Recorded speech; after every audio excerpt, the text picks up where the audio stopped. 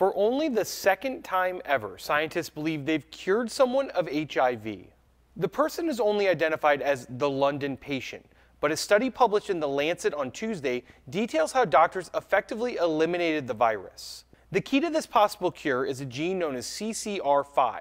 Some people have a mutation of CCR5 that is resistant to HIV.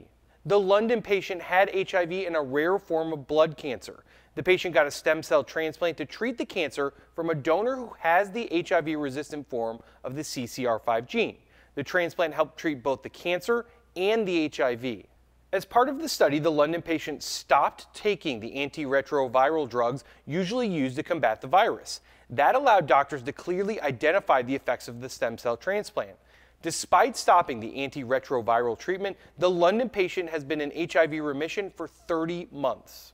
The study says there are still some low levels of HIV in the patient's body, but the virus that's left isn't capable of self replicating. The first patient cleared of HIV using the mutated CCR5 gene, Timothy Brown, has been HIV negative for 13 years.